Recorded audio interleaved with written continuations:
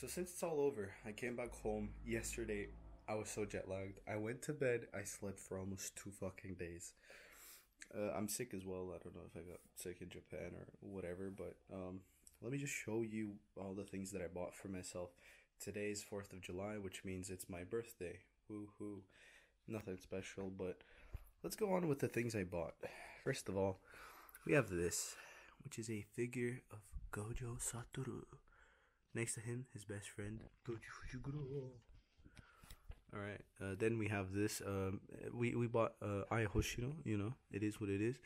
Then we have the man himself, Hime. Yes, sir. Uh, Megumin. Well, pretty cool.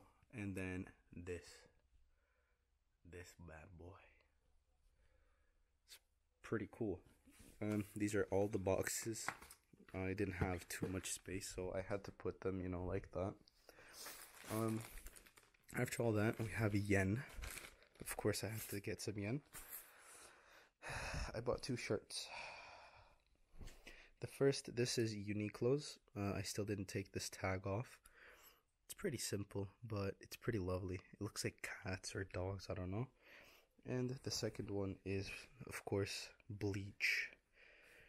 Um, sorry for low energy, but I'm really sick. This is Kon from Bleach. Um, then we have some miscell- miscellaneous. This is a magnet, keychain. This is something you put like on your clothes, like this, and it's pretty amazing. I like it. A pin from Japan. Um, this is my ticket. Another magnet. This, these are gifts. This is my luck Duruma. Fuck, Daruma, Daruma. Uh, I bought three of these, gave them away to my friends and stuff. This is a dragon. I've been to the shrine, and if you take two pieces of wood and you clap them above the dragon's head, like here, it's gonna echo through the whole temple. That's like one of the most surprising things that I've seen. So I had to buy it because the dragon also looks very cool. And I was, I was planning to put it on my uh, door. I don't know.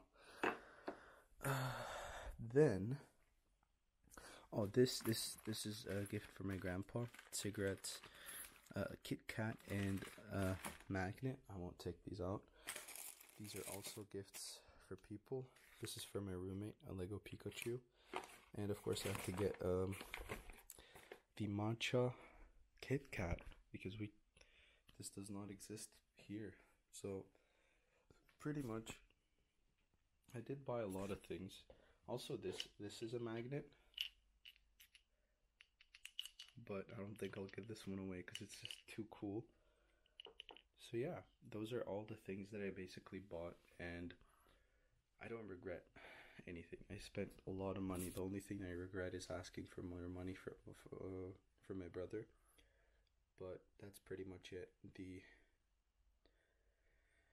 last impressions, the Japan trip didn't feel real. It it doesn't feel real. It doesn't feel like I did it. You know, to make a lot of videos. This is filmed before all of the other videos, but you know, I'll just relive it again, and I'm happy that I can. And yeah, Japan was insane, and I will do it again.